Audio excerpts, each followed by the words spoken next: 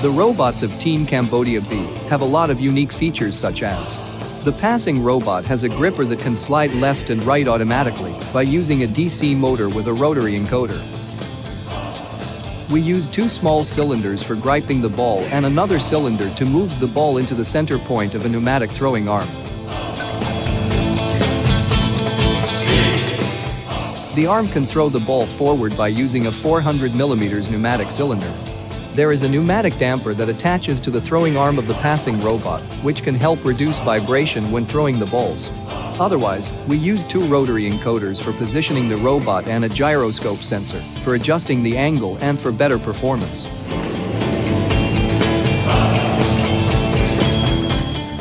The Try-Robot has a rectangle net on the top of the robot, which can slow down the ball speed by 40% to 50% before it goes into the receiving net.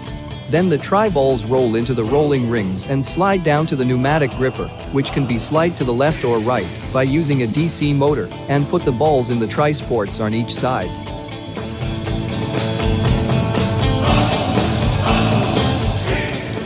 The robot itself can move without rotating the robot, and also it can hold or set the robot angle automatically by using a gyroscope sensor.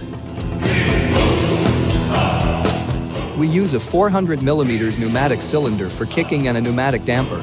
By using a pneumatic damper, we can reduce the vibration and increase the chance of kicking by about 85%.